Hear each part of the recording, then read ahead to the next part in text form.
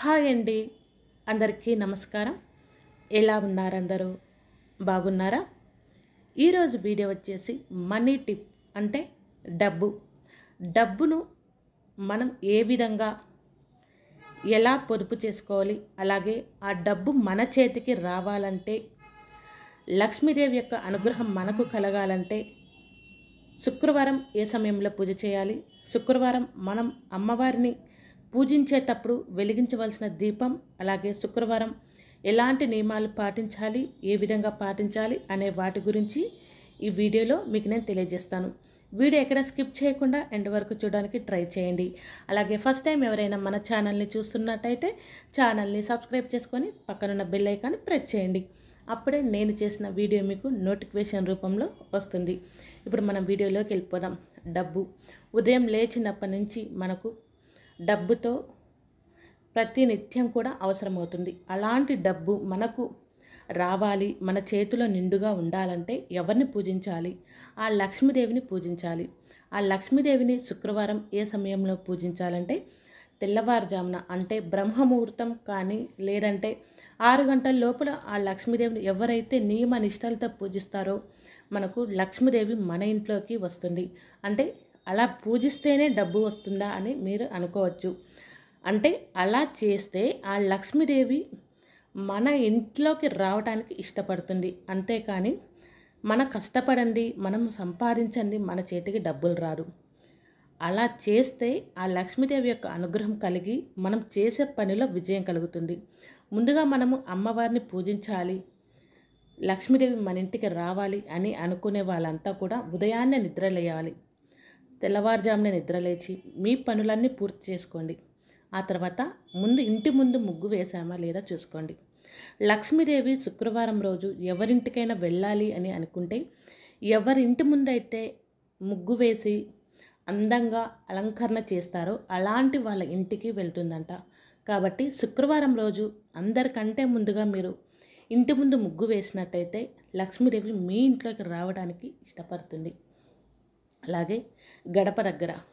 గడప దగ్గర కూడా మీరు చేయవలసిన పని ఏంటంటే గుమ్మాన్ని శుభ్రంగా కడిగి పసుపు కుంకుమలతో అలంకరణ చేసి ఆ తర్వాత గుమ్మం ముందు కూడా చక్కగా తామర ముగ్గు కానీ లేదంటే అష్టదళ పద్మ ముగ్గు కానీ ఏదైనా వేసి అక్కడ పసుపు కుంకుమలతో అలంకరణ చేసి అక్కడ ఒక దీపాన్ని వెలిగించండి.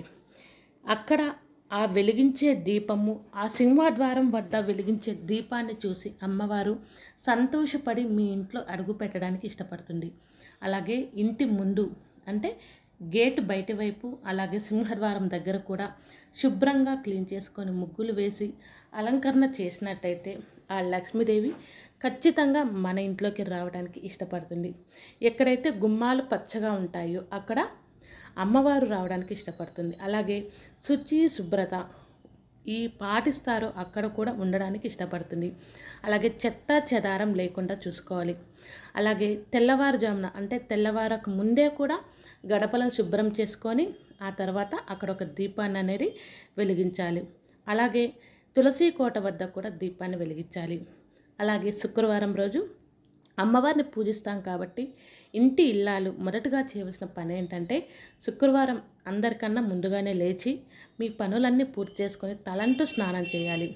శుక్రవారం ప్రతి మహిళ కూడా ఖచ్చితంగా చేయవలసిన పని ఏంటంటే తలంటూ స్నానం చేయాలన్నమాట. తలంటూ స్నానం చేసి మీ యొక్క తలంటు స్నానం చేసిన తర్వాత ఆ యొక్క జుట్టు ఉంటుంది కదా చాలామంది ఏం చేస్తూ ఉంటారంటే వదిలేసి తిరుగుతూ ఉంటారు. అంటే జుట్టు విరబోసుకొని తిరుగుతూ ఉంటారు. అలా విరబోసి తిరగడం కాకుండా జుట్టును ముడి వేయండి లేదంటే రబ్బర్ బ్యాండ్ పెట్టండి. లేదంటే పైకి కొప్పులాగన్నా వేసుకోండి. జుట్టు ముడి వేసుకొని ఆ తర్వాత తల్లో ఒక పువ్వు పెట్టుకోండి. అలాగే కాళ్ళకు పసుపు రాసుకోండి చేతులకు గాజులు. నుదుటున ఆ రోజు మాత్రం కుంకుమ బొట్టు పెట్టుకోవడానికి ట్రై చేయండి. శుక్రవారం మీరు ఎప్పట్లాగానే స్టిక్కర్లు ఇలాంటివి పెట్టకుండా మీరు ఆ రోజు నుదుటిన కుంకుమ పెట్టుకోండి. అలాగే మెడలో తాలిబొట్టుకు కూడా పసుపు కుంకుమలు పెట్టుకోండి.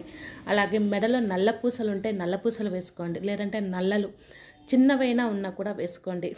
ఆ తర్వాత ఇవన్నీ చేసిన తర్వాత ముందుగా మనం ఏం చేయాలంటే తులసమ్మ చెట్టు దగ్గరికి వెళ్ళాలి.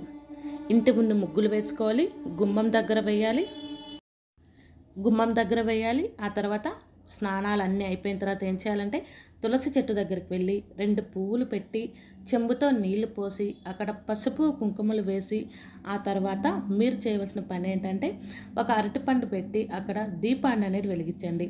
శుక్రవారం రోజు తులసి చెట్టు వద్ద ఈ దీపాన్ని వెలిగిస్తే వాళ్ళు నిత్య సౌభాగ్యవతిగా ఉంటారు.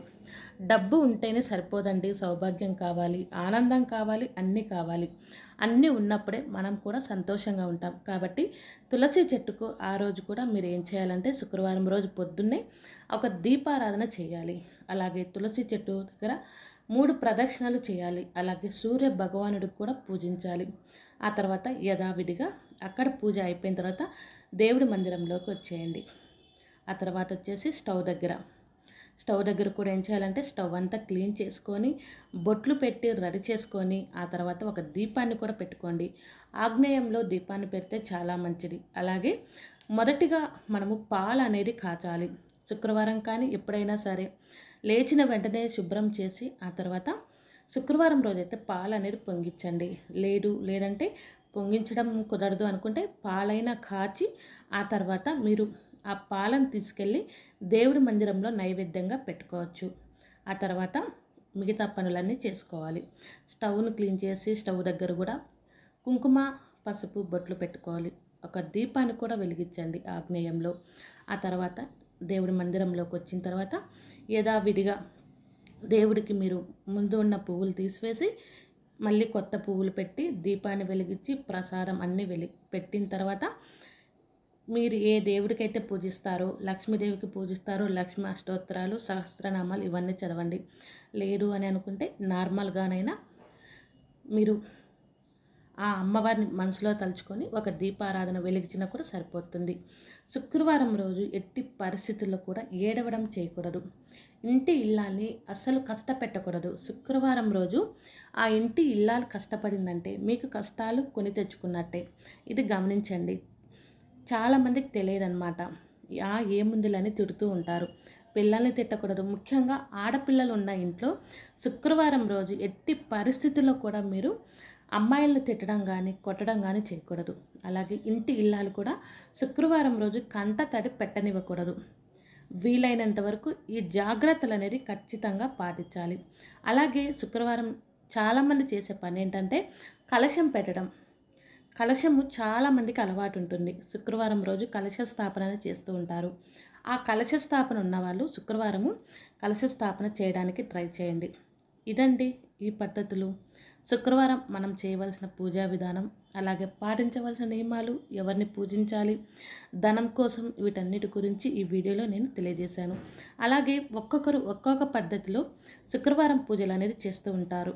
అలాగే ఆ అమ్మవారి యొక్క అనుగ్రహం కోసం శుక్రవారం రోజు ఉదయం పూజించాలి సాయంకాలం సంధ్యా సమయంలో కూడా సంధ్యాదీపం కింద కూడా వెలిగించాలన్నమాట. అలాగే శుక్రవారం కూడా ఎట్టి పరిస్థితుల్లో కూడా మీరు అమౌంట్ అనేది బయటికి ఇవ్వకూడదు. డబ్బులు అనేది బయటికి ఇవ్వనే ఇవ్వకూడదు. ఒకవేళ ఇవ్వాలి అని తప్పనిసరిగా అనుకుంటే అవతల వ్యక్తి నుంచి కూడా మీరు ఒక రూపాయన తీసుకోవడానికి ట్రై చేయండి. అలాగే అమ్మవారికి శుక్రవారం చేసే పూజలు అంటే చాలా ఇష్టం. కుంకుమ పూజ కానీ అభిషేకాలు కానీ లేదంటే అష్టోత్తరాలు కానీ ఏవైనా సరే శుక్రవారం పూజించే వాళ్ళు ఆ అమ్మవారిని మనస్ఫూర్తిగా పూజించండి. లాస్ట్లో ఆ అమ్మవారికి ఎర్ర నీళ్ళతో దిష్టి అనేది తీయండి. ఎందుకంటే అమ్మవారికి మనం చేసే పూజల వల్ల అలసిపోతూ ఉంటారు. అలాంటప్పుడు మనం గినక దిష్టి తీసి అలా చేసినట్టయితే ఆ అమ్మవారికి కూడా బాగా ఉంటుంది. మన ఇంటికి బాగుంటుంది. ఈ విధంగా నేను చెప్పిన ప్రకారం ఎవరైతే పాటిస్తారో వాళ్ళకు ఆ ఇంట్లో సంతోషం కలుగుతుంది అలాగే లక్ష్మీదేవి యొక్క అనుగ్రహం కలుగుతుంది అలాగే డబ్బు దానంతట అదే వస్తుంది. అంటే ఎలాగో ఇన్ని చేసిన వాళ్ళు కష్టపడకుండా ఉండలేరు. కష్టపడతారు కాబట్టి కష్టపడతారు అలాగే అమ్మవారి యొక్క అనుగ్రహం కూడా వాళ్ళకు కలుగుతుంది.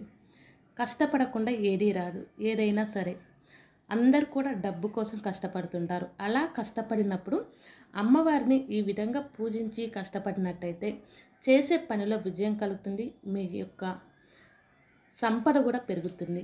అలాగే శుక్రవారం రోజు శుక్రవారం రోజు ఇంట్లో ధూపం అనేది ఖచ్చితంగా వేయండి. సువాసన భరితమైనటువంటి ధూపం వేసినట్టయితే ఇంట్లో కూడా చాలా ప్రశాంతంగా కూడా ఉంటుంది. మరి యొక్క మంచి వీడియోతో మళ్ళీ కలుస్తాను.